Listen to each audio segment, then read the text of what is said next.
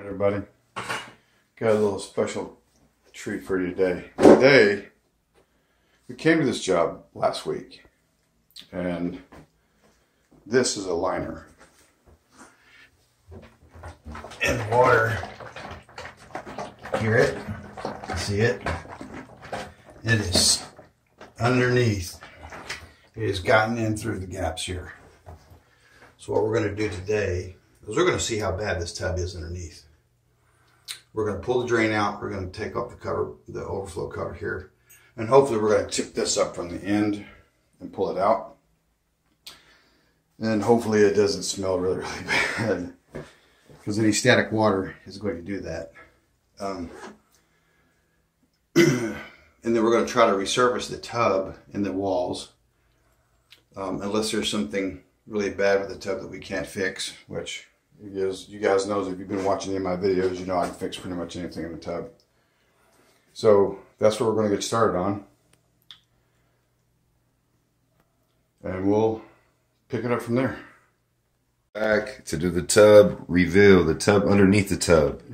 What do we got? Well, first of all, let me tell you how we got this off. Okay. Uh, we cut all the silicone around this, Okay. and then I took a chisel, which you can tell how much pressure I put on this. But I laid this underneath the edge, put it right here on, on the top of the screwdriver to give me leverage so it wouldn't bust my knuckles. And I worked it up along the front. Once I got my hand grip on it, I, I could lift it up. So it's coming up now. Okay. So let's Ooh, see that- let's, let's see what's underneath. It kind of I smells smell already. it. I Yeah. can smell it. Stinks. Ready? Let's go. Oh yeah. Oh no. Oh, oh man, that smells bad. Yeah. Mm. I think we should have got our, our mask for this one. This is uh oh, what is all that black stuff right there? This that right there is the tar that they used to seal this down with. But you can see right there. Okay. You see that corner? Oh yeah. That's all that greenish. That's all calcium, hard water, and corrosion that has sunk into that corner and leaked down. By doing that, and you stepping on it, Uh, you're causing the uh, this stuff to fail. okay. So And that's then why you- it was that's real why you got that squishy. squishy because all the water was underneath there, and it was being held in by the drain because the drain was clamping it down. Ah. So, and this tar on the top here is what they use to. Uh, So this is essentially not the way to to do a job like this, right? well, this is what they used to do. Now you just refinish them. You reglaze them like what I do. okay. So we're gonna make this look brand new. We're gonna make this look brand new. brand new. How so? I'm gonna reglaze it. I'm gonna clean it first, and then I'm gonna show you how I did the chemicals. Your chemicals. Oh yeah, yeah. Tell us about the chemicals. Now I ain't gonna tell you about my chemicals. Okay, that's a secret. The secret is in the chemicals. Nobody else is using it. Nobody Nobody. on planet Earth. Okay. Uh, not for this purpose. Okay. I stumbled upon it as, as an accident. Got and, it. Uh, and it has it has done me great service for the last 18 years. Oh, you've been doing it that long. Okay. Wow. Yeah, almost 19 years. Goodness, two decades of this, guys. All right, let's get this out of here so All I can clean right. it. Be back. Okay, guys. This is what's left underneath. This is all their seal. This is rubber. It's what they use under shower doors, sometimes to make a good water seal so the water doesn't leak underneath. It's going to take us a little bit to get all this off, but I'm going to show you what it does afterwards, what the chemicals do. We're going to make this thing look brand new. I do see that we are going to have to put new grout down here in the bottom where they took that out to sink that that uh, liner so it's set down inside the tile. We can regrout that. Oh yeah, they they really did a, a not so professional job on this. Well, it's what they have to do to get that liner to sit lower than the tile so it doesn't sit on top of the tile. Um, but yeah, I mean it's it's pretty bad. I need to go outside and get some gloves, and the smell's starting to dissipate a little bit. But man, whew. You gotta explain this. Okay, guys. I put the first chemical on it, and you can see a lot of stuff came off. A lot of that mold. Uh, there's a lot of stuff on it still, but that's the black tar comes off because it came off the front here. Pretty easy. Um, I'm gonna let this set for about 20, 30 minutes to really break stuff loose. And then once that uh, mark hits, I'll come in and rinse it off and show you what that looks like. And then you'll see some some stuff in here that we've got to uh, address. And I'll tell you what that is in a minute. But it's coming clean. We'll just be surprised at how how clean this thing does come. But until then, I'll bring it back. Yes, it's the same tub. This is the first clean. Sanded everything down, got everything nice and clean. Tub looks like it's been acid washed before because there's a few spots where uh, it feels a little rough. Um, and I think they may have done that when they put the liner in so the tar silicone would stick to the tub. But um, it's wet right now, so you see a little shine. Once it dries out, there's not much of a shine to it. Even down the side, there's no shine.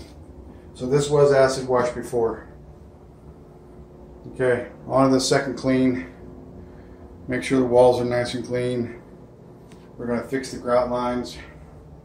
And I'll show you how we do that without using grout or caulking.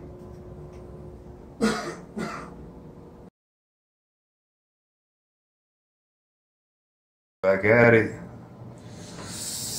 What do we got going here? Well, an alternative to grout, especially in the tub industry, you don't have time for the grout to dry, and then you can't seal the grout and then spray over it. Okay. So what I'm going to do is I'm going to show you a little technique that I've developed, and I'm just taking some Home Depot, but you can use any Bondo, but you want to get the stuff that's going to harden up. It's going to get nice and hard and not be really soft. Wait, isn't Bondo for like cars? Yeah, Okay. uh, Bondo's for a lot of stuff. oh, okay. But I mean, it's it's uh, this is an alternative to grout because I mean this will dry in a couple of minutes.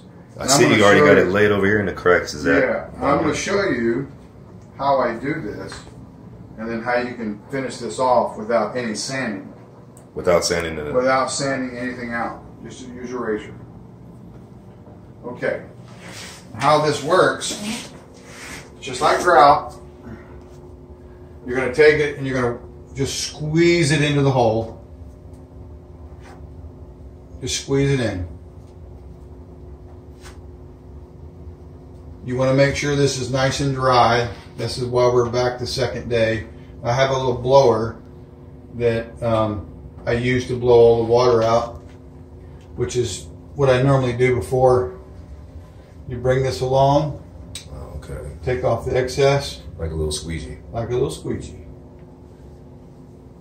And then you just squeeze it in and fill all the cracks, and you can even blend it with the other side. Oh wow. So um, once you get this done, and you get you, and it's good to have a sharp edge on one, so you can, when you squeeze it out, you have that nice straight line. But I'm going to show you what happens if you don't. Okay. Okay, now this section here we've already done. See the sharp edge? It leaves that little line there. It breaks up uh. that, so you'll come in with your razor as it's still a little soft. See that? Makes it nice and clean. Gives you a nice clean edge.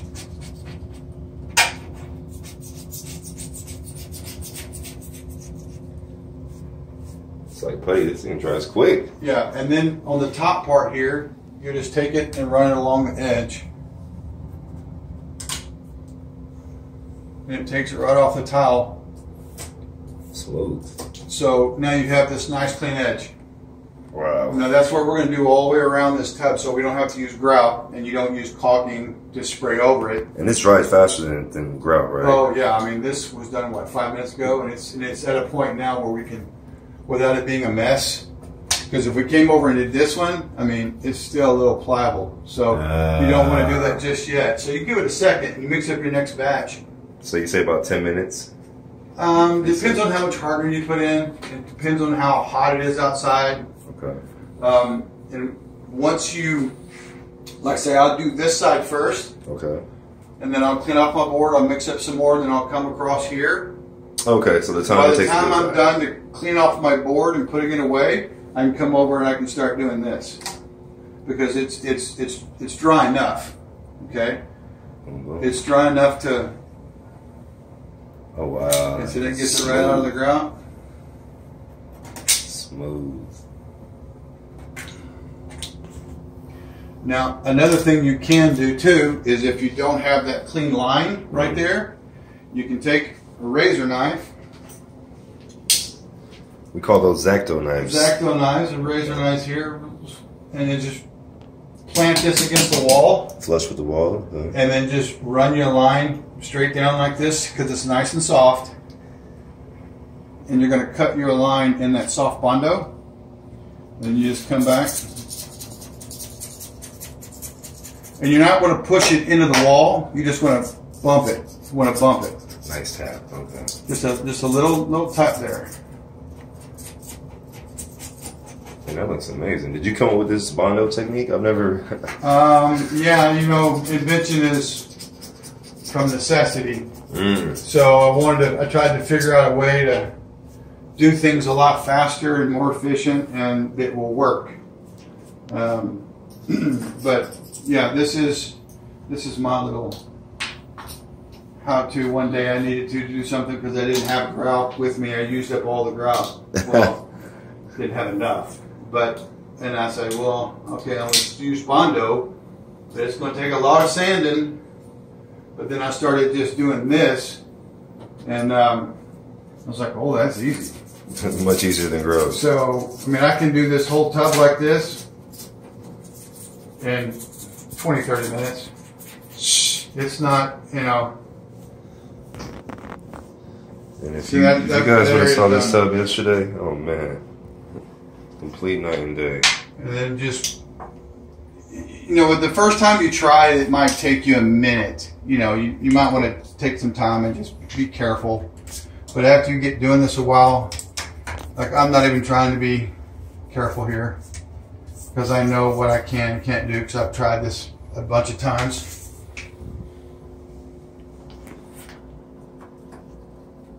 And it just makes things so much nicer, so much cleaner. And Like you're like really like the home improvement guy I used to watch growing up. What was his name? Tim Tim Tim Allen. Tim Allen. Home improvement. Was, yeah, that was the name of the show, right? Home improvement. Yeah, Home Improvement. He's actually got a new show, a new video on YouTube called The Vic. It's an all electric car. It's an all electric car. You know, I'm a car guy, so um, I, I watch all that stuff. And he's making this old, old car. He's building it pretty much from scratch, and it's all electric. What about his homie Al? Well, I haven't seen Al. Al was Al was the one that actually knew what he was doing. Yeah. Actually, actually, not too long ago, I watched a documentary on that, and um, what all they what they were doing now. It was pretty interesting. Love YouTube. Man, There's a lot you can learn. but you know, Just like people watching this video right now, you know, they want to know how to do this stuff without paying, you know, hundreds of dollars to have it done. But it's um, guys, if you like the video, comment down below. This is hard work. I've been here the whole two days. Trust me, saving a lot of money and a lot of time. yeah. And we're going to show you how we spray it and tape it up and prep it and everything here in a minute because this is not going to take much longer. And if you want, when you're done with this, you can take a piece of sandpaper. See, like these little things right here that you can see where it's still kind of wet, soft. You know, those will come loose. Like granules, yeah. yeah. But you know, you can just take your razor knife or push razor, do that, and then watch this give me a straight line. Perfect. So it gives me a straight line every time. You just you don't get too heavy with it because it's still soft. You can push it in or pull it out. Got it. So once you do that, and you take sandpaper and go around the edges if you want, you know, but. It'll still come out though, right? Yeah. Yeah, as long as it's still soft like this, once it gets hard, it's it's in there. Mm. And um, that's it. That's that's that's the way you do it. So we're gonna come back. We're gonna tape this up and then get ready to shoot it. Yeah, we're gonna take the fixtures off if they'll come off. Okay. Uh, these older ones sometimes they freeze up, and I, you know, I'm not gonna break plumbing to take them off. So we tape them up if you have to. we're gonna tape everything up, drop everything, bring our equipment in, and we're gonna spray it. So Cool. All right, guys. We'll be we'll see you after that. Don't work too hard. We've got everything taped up, repaired, plastic it off. Got my fan set up. This is going to exhaust everything out through a window. I've got my turbine set up out there. Everything's got a drop cloth on it. Everything's covered. now we're about to spray the primer, then the epoxy.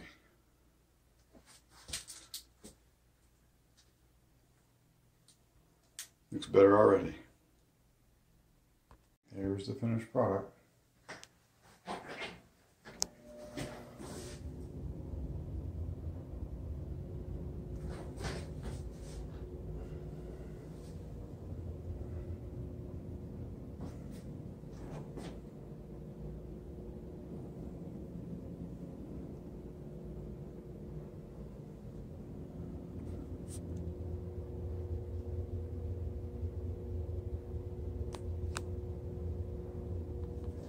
Okay, here we go, guys. Let's see what the finished product looks like.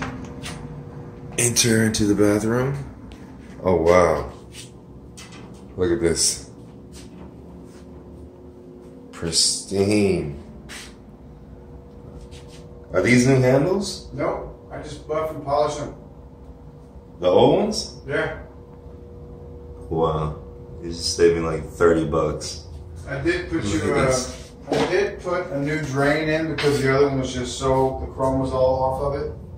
So I got you a new one and put that in with the new overflow cover. Wow, this is like from zero to hero. Oh, and then we did the grout work too. You did Because there was a separation from the old tub, right? So we had to regrout that. Yeah, once that dries out, wow. the color will change a little bit, a little more Look at this, guys. compared to what it was. Compared to what it was, this is a new tub. I, I actually won't mind taking a bath in this thing. Goodness. And you just put your new shower head on tomorrow when you get one. Boom. You shower in tomorrow morning. There we go. All right, here we are. Finished product. Yes, sir. Tell us what we did. Okay, let's go in and check it out. All right. Okay, I'm gonna sit down here so I can explain. Okay. What we had was originally we had a tub liner, which you saw in the beginning. Um, we pulled the old liner out and it was black mold underneath. We cleaned that up. There was we were lucky because there was no damage to the tub. It was just you know uh, what they did for the alternative of actually spraying. You said something about acid wash too. They had acid wash. Yeah, it. they acid washed it. I think I don't know if I, I think that maybe have been why they put the liner in because it was dull, and there were a lot. There's lines going down the sides of the tub where chemicals run down, Okay. so it eats away more in that spot um, than when they wa- wipe the whole thing because they'll go along and pour it along, and then it, the heavy concentration will run down. Then they'll wipe it. Um, there was a, a big wide strip coming from the overflow, but we repaired that. You can see here where the gaps were around where we showed you we did the bondo around the so now it's it was bondoed and then we painted that. So now you're gonna have a nice clean clean line. Look at that. Look at the grout, guys. It's white, so you don't have to worry about ever having dirty grout again because it encapsulates the grout. So because grout is the most porous part of this tub, so it's gonna hold you know your moisture and bacteria and it's gonna grow mold on it. Um, the um, fixtures we just clean those with the chemicals and then we buff and polish those. We clean the fixtures. Those are new. No, those are those are the same ones. We just buff and polish those, and just put them back on so you don't have to. The only thing we did do is I bought you a new drain because the other one was black, was just the chrome was gone. So we bought a new one and it came with the overflow cover. So we Oh, just nice. put that in there. Um, and a new shower ring around the top. I had an extra one of those, so I just put a new one on there. Cleaned up the doors. Got a lot of the, all the little silicone off of them. Oh yeah, guys. You know, the doors may have some residue left on them, but just take some Windex Okay. tomorrow and just kind of clean them up really good, and Okay. they'll be they'll get all that hard water off. Wow, still this looks amazing. Look at this, guys. Top to bottom. It's like a brand new tub. Now, the best way to take care of this: Okay. no abrasives, no Comet, no Ajax, no Scotch Brite, because that will dull the shine. It's like it's like wet sanding. Got it. Uh, no bleach, because you don't really need bleach because you're not going to have a mold problem. Okay. Unless that is if you don't clean it. If you get tons of soap on there, the soap's going to hold the mold. Got it. So you don't need bleach because bleach is very harsh and it will dull the shine. 409, Fantastik simple green scrubbing bubbles, and a big nylon brush. It's kind of like a giant toothbrush. Okay. Uh, you get it in the, you know, just So no scoring pads all or the- nothing like the that? cleaning department, no, no scrubbing pads. You won't, you won't, don't need them. Okay. So you spray the product all over the wall, let it sit for a few minutes, take your brush, dip it in water, scrub it, and then rinse it off. Uh, this is really close to an automotive paint. So by that, if good rule of thumb, if you would not use it on your car, don't use it on your shower, on your tub. Mm. So there's, you know, there's, but there's a lot of household cleaners you can use on your tub. It's just- Classic truck addiction, guys, coming through, saving the day, saving lots of money, and doing a perfect job. Oh, showing the double bicep again? Huh. push that baby up. Uh oh. There we go. Hey, I appreciate you coming through, man. You're Thank welcome. you so You're much, welcome. man. You're welcome. Uh, And- you know, you got our number, so if you have any questions, just call us. And you're gonna leave it in the in the description. Comment down below. What do you guys think of the video, the work, the job? I mean, this is a DIY. You can get it done during quarantine time. This is a good project, and you have it all right here. And let me just, a lot of people don't realize this, but we have multiple colors of stone, what they call the granite, like it's a multi-spec. Okay. We can spray these to look, we've got six, Okay. 60 colors to choose from. We can spray these and we can spray the shower walls to match. Um, we do fiberglass shower units, tubs, shower walls, walk-in showers, cultured marble, uh, fiberglass, laminate. We even we have a chemical another product we use for garage floors and tile floors. If you don't want to it all out, we can spray the floors to look like granite or stone. So check out the website. The website is actually called is taken for granite oc.com. We're located yeah, we're located in Huntington Beach, California. We travel all around.